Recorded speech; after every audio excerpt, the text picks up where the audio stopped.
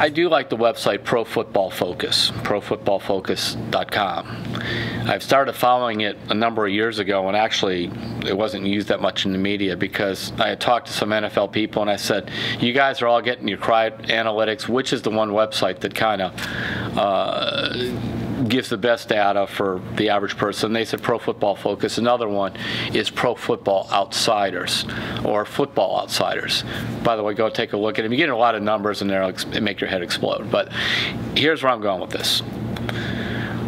Pro Football Focus came out with projecting the best offensive lines for 2017. What team's going to have the best offensive lines? I was curious on this because the Browns put a bunch of money in their offensive line. You know, Kevin Zeitler, 60 million. J.C. Tretter, 17 million. Zeitler's a guard. Tretter is a center. They extended Joel Bitonio's contract. That's a $50 million extension. Remember, some of these contracts are not fully guaranteed. Basically, when, for example, like Bitonio, you hear 50 million, you can pretty much cut it in half, like 25 million guaranteed. We all should be in a situation where we could say, you know, only 25 million of my 50 million is guaranteed. What a tragedy. Uh, all right, point being, those are the guys there, and you have Joe Thomas. They projected the Browns' offensive line to be number two second best in the NFL. By the way, they have Philadelphia as number one, Browns at number two. So I'm thinking, all right, let's look at the line. Joe Thomas, left tackle. I mean, he's a, he's still an elite player.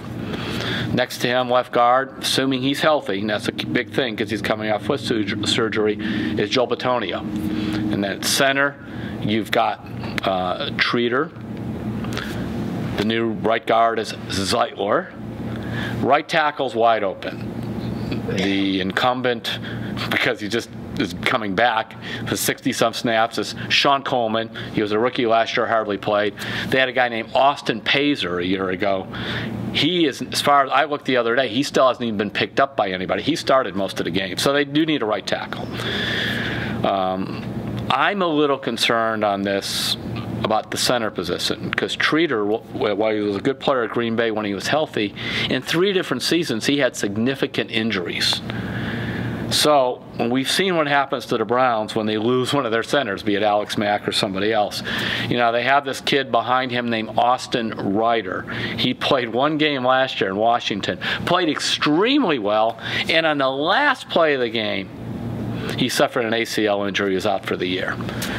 Uh, they have another center named Fabiano. Thankfully, I heard this that Cameron Erving, who drove me nuts, number one pick back in 2015.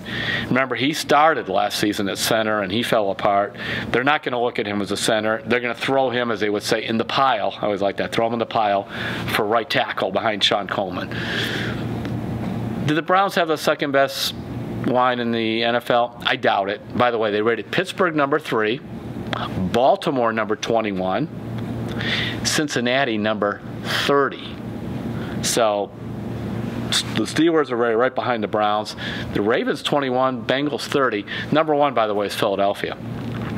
So we'll see. But you know, it made me feel good because I thought the Browns had really upgraded their line with the moves they've made. And when they do their stats projecting forward, uh, Pro Football thinks the same. Pro Football Focus thinks the same. So at least that's a reason for hope. Because remember last year, what team led the NFL in giving up sacks? Your very own Cleveland Browns. Hopefully that doesn't happen again.